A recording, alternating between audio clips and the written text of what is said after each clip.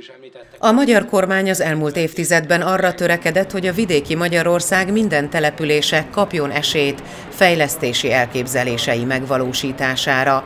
Az előző hét évben 1700 milliárd forinttal támogatta a kormány a vidéki Magyarország ilyen típusú fejlesztéseit, mondta Varga Mihály pénzügyminiszter a megújult Komlói buszpályaudvar átadó ünnepségén. Azokkal a településekkel tudunk együttműködni, ahol vannak ilyen tervek az asztalfiókban.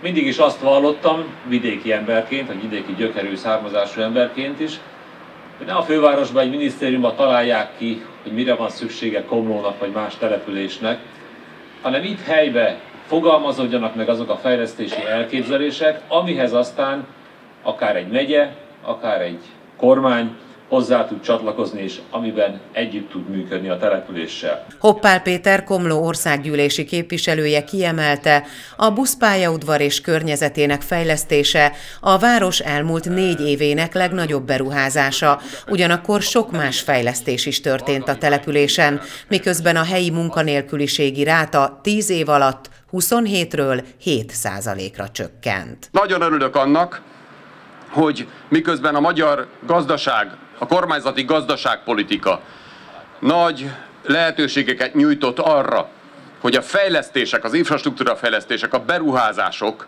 azok Komlót is felemeljék erre az országos nívóra.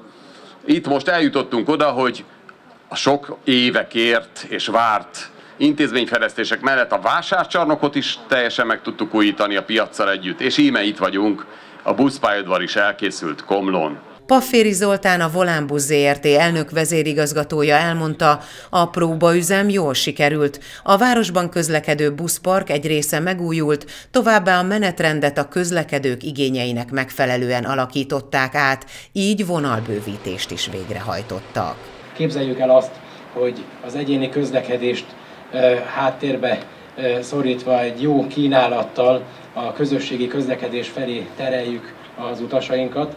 Célunk az, hogy a szolgáltatásaink, a menetrendünk, a járműparkunk és a körülöttünk levő környezet is megújuljon, és egy korszerű környezetbarát és kényelmes lehetőséget biztosítson a utazóknak az úti céljaik elérésére. A csak nem 1 milliárd forintból megvalósult beruházás a területi és településfejlesztési operatív program keretéből, a pénzügyminisztérium támogatásából és az üzemeltető Volánbusz ZRT saját forrásából valósult meg.